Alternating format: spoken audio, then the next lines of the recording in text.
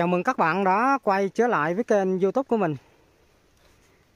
Hiện tại mình à, đang có mặt tại mảnh vườn à, cà phê TR4 của à, đứa em gái nhé các bạn. Thì cái mảnh vườn này nói chung khá tốt mà khá đẹp luôn. Thì hôm nay mình làm cái clip này mình sẽ review ba giống cà phê. TR4 là một lá xoài là hai và giống cà phê thiện trường là ba nhé các bạn thì trong thời à, gian cách đây mấy năm trở lại đây là cái thời tiết ở dân nghĩa đất nông mình thay đổi khá là nhiều. Cho nên là cái cây cà phê của bà con là nở bông là mất kiểm soát luôn. Nói chung là nở hoa là gặp mưa rất là nhiều. Thì à, trong này có một số cà phê, có một số giống có thể các bạn không biết.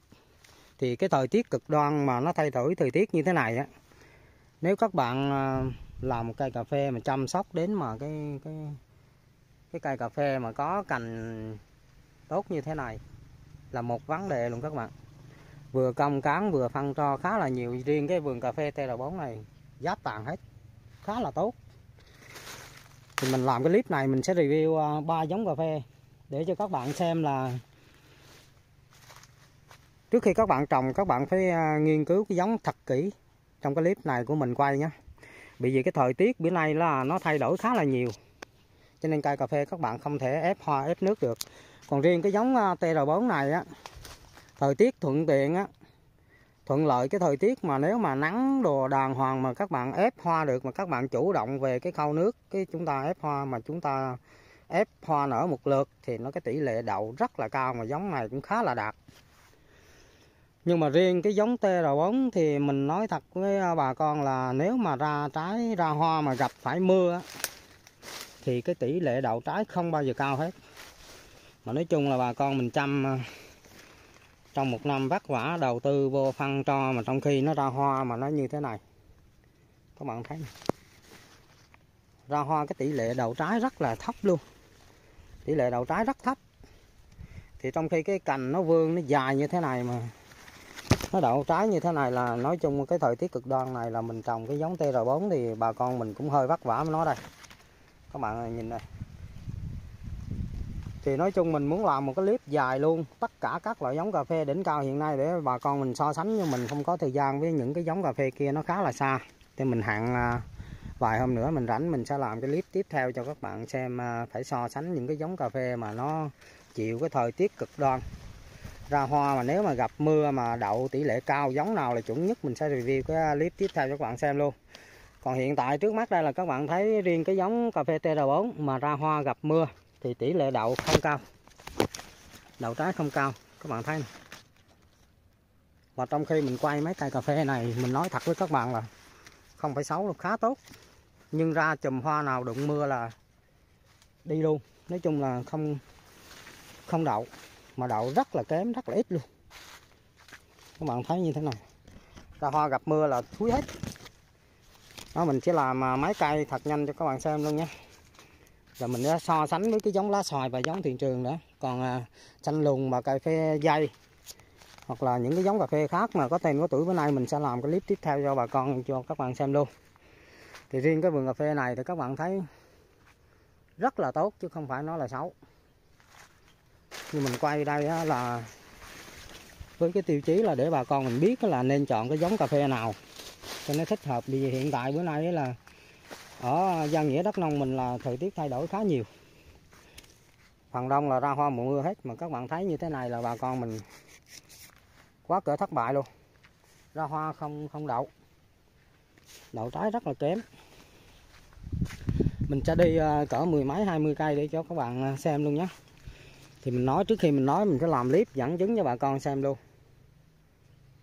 Các bạn thấy cái tỷ lệ đầu trái. Cái cành mình quay đây phải dài hơn một mét. Cái bụi cà phê khá tốt, chứ không phải nói là nó xấu. Các bạn thấy như thế này. Nguyên một năm chăm sóc phân cho, mà nếu các bạn chọn sai giống là các bạn dẫn đến cái hậu quả là nó như thế này. Mình quay cho bà con mình xem luôn để ờ, bà con mình biết là trước khi các bạn mà năm 2024 cái niên vụ này, các bạn xuống mới cà phê là lưu ý phải chọn cho mình một cái giống thật là chuẩn, kháng bệnh tốt, chống chịu cái thời tiết, mưa gió bất thường mà vẫn cứ đậu. Các bạn nên chọn những cái giống cà phê đó. Như thế này, rất là tốt nhé các bạn. Đây.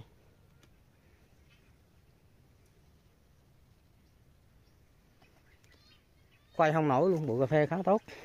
Mời các bạn bỏ chút thời gian theo chân mình để xem tiếp chừng năm bảy cây nữa để các bạn đánh giá về cái giống TR4 mà ra hoa gặp mưa nhé. Cái giống này thì mình không phải là chê cái giống này không đạt. Nhưng cái giống này ra hoa gặp à, trời mưa thì nói chung thất bại hoàn toàn.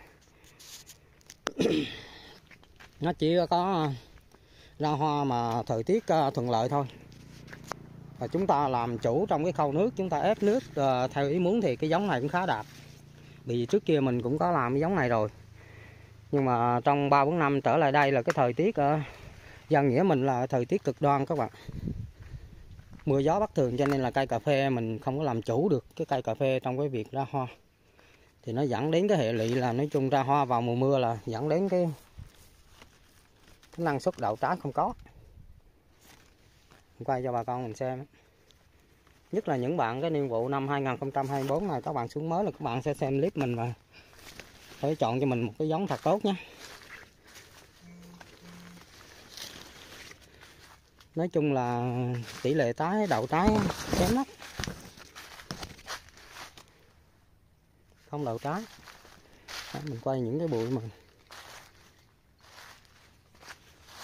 Đó, mấy bụi này là các bạn nhìn vô cái dàn cành này các bạn đâu có dám chê nổi với cái dàn cành này. Rất là tốt luôn. Nhưng mà tỷ lệ đậu trái thì các bạn biết rồi. Không đậu nếu như mà ra trúng mưa dầm là kể như mắt trắng luôn. Không không không đạt. Giống này nếu ra trúng mưa dầm với thời tiết bữa nay là không đạt nên bà con mình lưu ý hết sức trước khi chúng ta xuống mới cà phê là phải coi clip mình mà để coi cho thật kỹ để các bạn nghiên cứu và chọn cho mình một cái giống thật là tốt bạn thấy như bụi cà phê này không phải vừa tốt lắm luôn. Nhưng mà ra hoa là không không không đậu. Các bạn nhìn cái dàn cành như thế này. Dàn cành như thế này làm sao các bạn đánh giá cây cà phê không đủ sức để mà ra hoa mà cái chùm quả nó sẽ to chứ? Nhưng mà ra trúng mùa mưa là thú hết các bạn. Đây. Thú hết. Bón phân nguyên một năm mà bón cũng khá mạnh mới có cái vườn cà phê cỡ này. Trong khi mà ra hoa thì lại không đậu trái. Thì bây giờ mình mời các bạn bỏ chút thời gian theo chân mình để xem à, cái video tiếp theo mình sẽ review cái à, giống cà phê lá xoài. Thực tế giống lá xoài ra hoa vào mùa mưa có đậu nhiều hơn cái giống TR4 hay không nhé. Mời các bạn cùng à, bỏ chút thời gian theo chân mình nhé. Và đây mảnh vườn thứ hai là mảnh vườn cà phê lá xoài của nhà mình nhé các bạn khá tốt. Đó. Thì ờ, riêng cái lá xoài thì ờ, vừa rồi mưa thì nó cũng chưa có nở hoa trúng mưa mấy, cũng ờ, có nở bị một ít thôi. Thì mình review luôn cho các bạn xem. Thì cái cây cà phê của mình đây là cũng khá sung chứ không phải là cây cà phê mà không sung. Đấy. nở hoa gặp mưa thì tỷ lệ đậu trái như thế nào? Nói nôm na là cũng không được đạt lắm.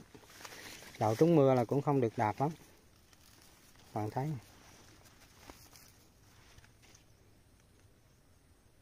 có nở mà nở cũng ờ, không có nhiều lắm.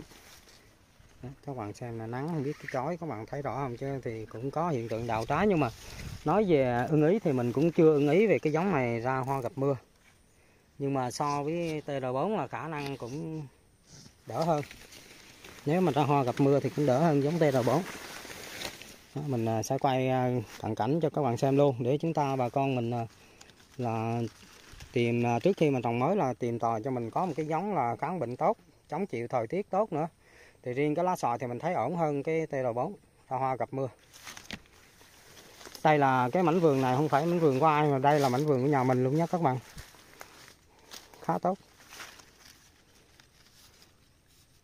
Nói chung nói nôm na là ổn hơn cũng ờ, ra hoa nở một lượt với cái tr bốn hồi nãy mình quay đấy nhưng mà riêng lá xoài thì có phần chùm trái đậu, có phần là chắc chắn hơn. Mình sẽ quay ờ, mười gái hai mươi cây luôn cho bà con mình xem nhé.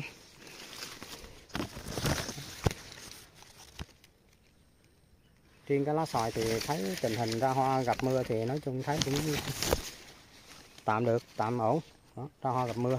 Còn riêng cái giống này mà ra hoa mà đúng không bị mưa gió thì nó cũng không phải vừa các bạn. Rất là đạt luôn. Mà sợ nhất đó là cái thời tiết bữa nay là nó thay đổi cho nên cái cây cà phê mà các bạn mà chăm cho tốt mà khi nó ra hoa mà cái giống cà phê nó không có chịu nở hoa trúng mưa thì mình cũng thất bại khá là lớn. Rồi mình sẽ làm cái clip tiếp theo cho bà con mình xem là cái giống cà phê thị trường nữa mình cũng muốn làm năm sáu giống cà phê đỉnh cao nhất hiện nay cho bà con xem nhưng mà mỗi giống nó nằm mỗi chỗ khá xa cho nên là tạm thời mình review ba giống này trước đã. Còn nói về tóm tắt mà TR4 với lá xoài thì lá xoài à, ra hoa gặp mưa thì lá xoài có phần lắng nước hơn rồi đó. Ra hoa gặp mưa là đậu cũng à, chùm tái nói chung là cũng tương đối ổn định. Đó, các bạn thấy chùm tái dày rồi cũng không đến nỗi mà buồn giống cái giống TR4 hồi nãy thì bây giờ mình mời các bạn à, bỏ chút thời gian theo chân mình à, mình sẽ review luôn cái giống cà phê tiền trường. Thì cũng không cách đây bao xa đâu, mình sẽ làm tiếp cái clip theo là giống cà phê tiền trường thì cũng à, cái vườn nhà mình luôn. Gửi ra cái thông tin đến các bạn nhé, mời các bạn theo chân mình nhé.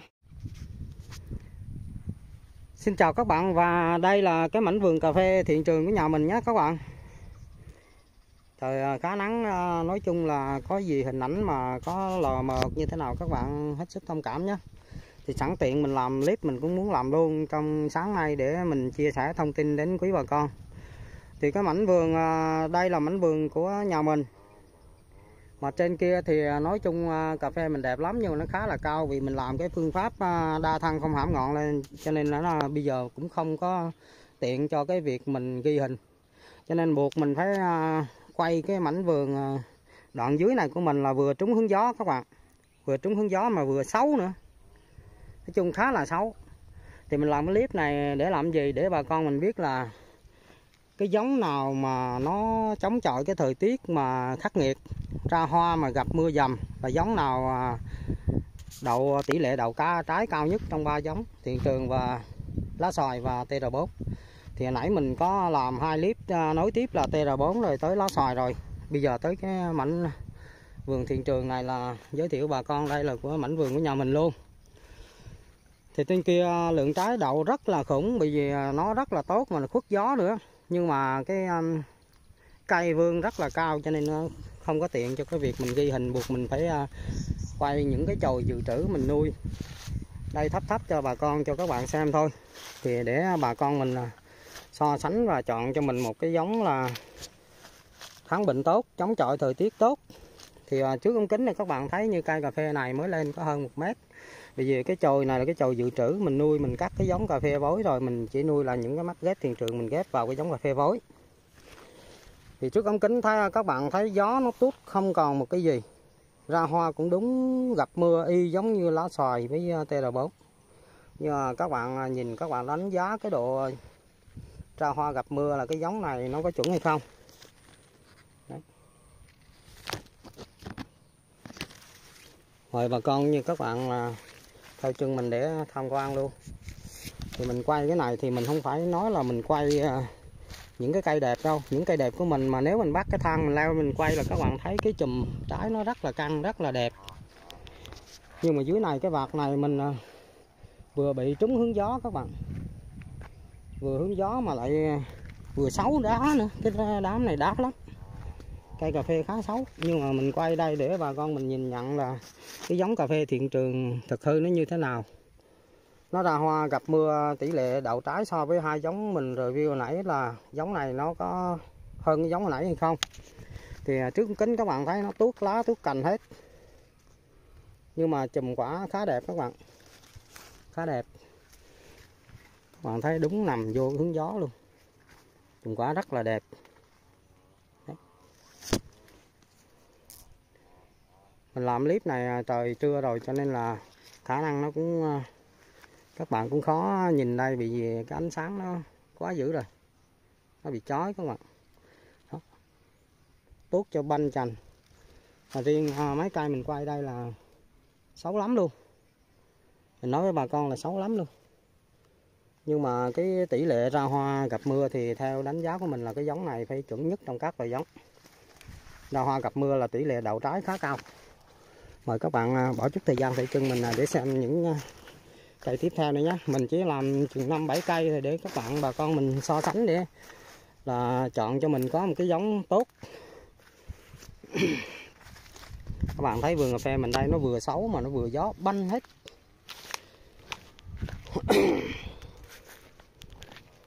tiếp đây cây này nữa. Cây này chỉ có mình mới ghép được hai chồi.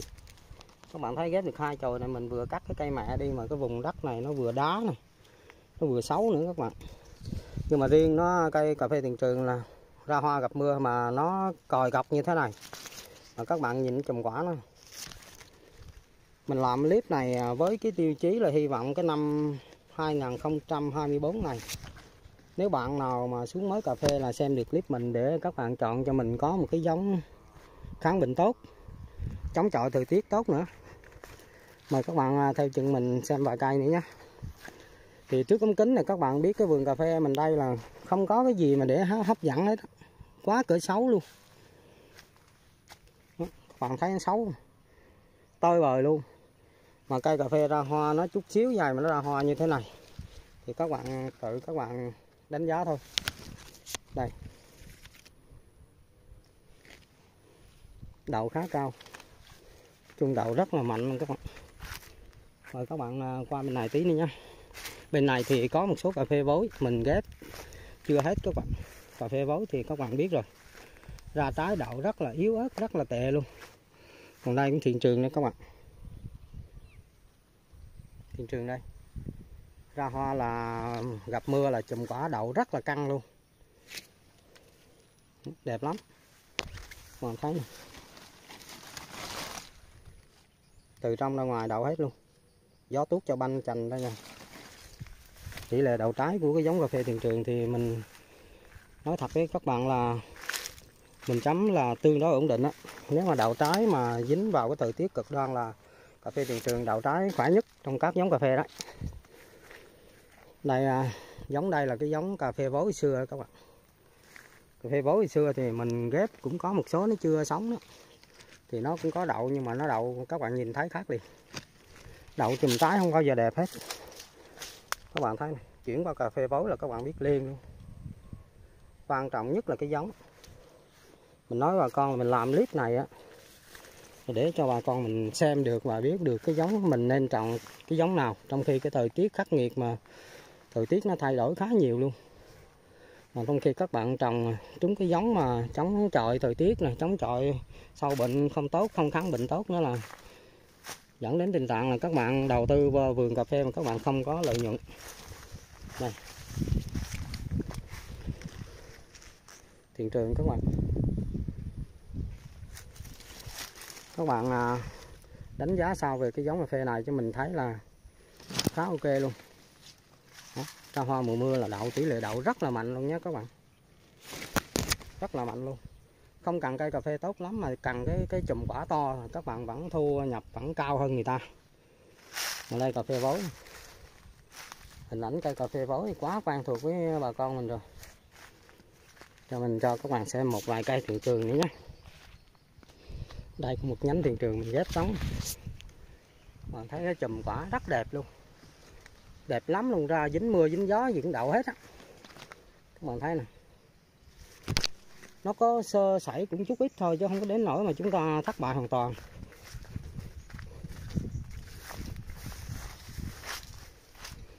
Các bạn thấy tiền trường đây. Mình quay cho các bạn xem để các bạn tự đánh giá vì à, review à, cái TR4 mình quay cũng khá nhiều cây. Lá xoài mình quay cũng nhiều cây. Rồi à, cái thị trường cũng vậy mình quay rất là nhiều cây cho bà con mình xem luôn. Là thực tế mình nói có đúng sự thật hay không? Đây, thị trường này các bạn. Chùm quả rất là căng đét, rất là đẹp. Nở chùm nào là ra chùm đó luôn. Trong khi là gió như thế này tuột hết nè, mà các bạn thấy này trái rất là sai trái. Chùm quả rất đẹp còn bây giờ mình à, review, ờ, review cái clip này cũng khá dài rồi. Mình xin phép các bạn xin phép bà con là mình được kết thúc video tại đây nhé. Nếu bạn này à, nào mà thấy clip mình hay yêu quý mình là nhớ cho mình một like và một lượt đăng ký kênh nhé ủng hộ mình nhé. Thân ái chào tạm biệt và hẹn gặp lại các bạn những clip sau và mới nhất của mình nhé.